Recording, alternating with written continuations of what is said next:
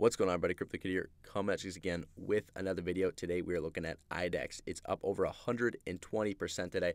Absurd gains, but it's something that we have seen in the past from this coin. Uh, the volume, I will say, is up near $500 million. There's no way that lasts, and for that reason, I'm going to say that right now is probably not the best time to buy this one. Uh, but I think you guys will see by the end of this video that this genuinely is a good investment, in my opinion. Not financial advice, but stick around. We're going to learn all about it, and I'm going to tell you guys where I think the price is going in the future.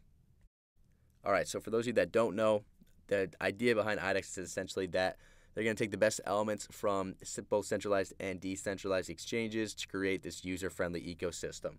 So essentially, they have to take elements from centralized exchanges in order to make everything fast and optimized uh, the best it can be. Whereas with decentralized exchanges, there's obviously security, uh, that comes with that, with being decentralized. So, you know what? I think it's a fantastic idea. I'm not sure why nobody has tried to do it yet. And if it's if this is able to work out, I think this is going to be a fantastic investment.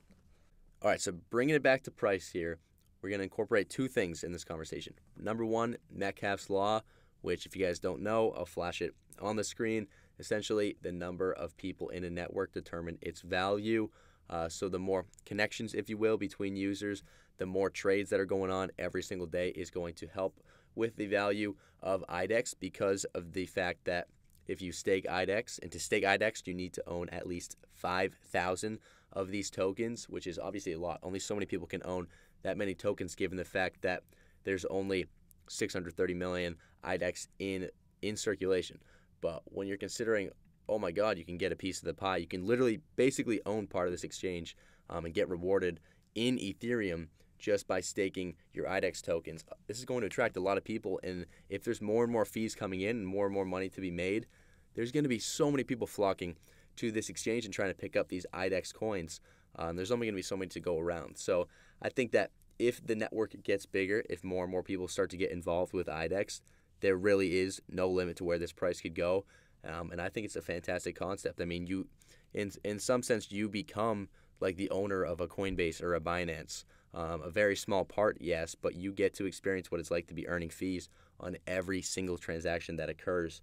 Uh, and I think that's so powerful, and that's going to get a lot of people excited, um, and they're going to want to get involved in the project. All right, as for where this price is going, in 2022, I'm going to say that this one is able to crack 75 cents.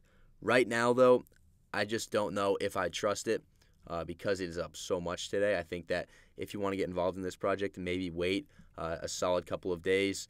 And if this one does end up dipping below, I'd say around 20 cents. If it goes below like 17 or 18 cents, especially, uh, I see no problem with picking some of this one up. And, th- and that's because this one, for basically almost a month, um, or, or half a month rather, was sticking at around 10 to 12 cents uh, with very little volume. So I think just because a lot of whales came in and they're pushing the price, I don't think now is the best time to get involved because everyone's super excited. That's not the best time to invest. You want to be investing before people get excited.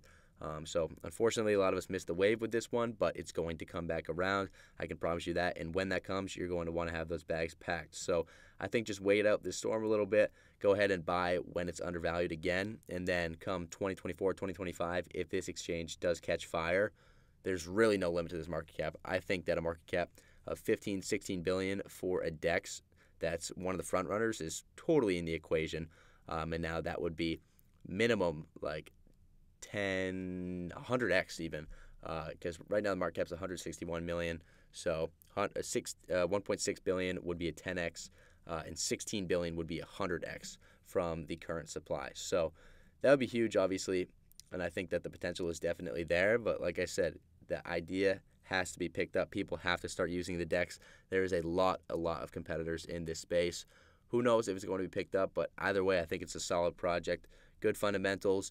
Uh, great technology, great planning all around, just a solid project. Um, this is one that I'm going to go ahead and get a small bag of myself. And, you know, I'm not going to tell you guys what to do with your own money, but I think this is one definitely worth um, investing some time into and researching it further.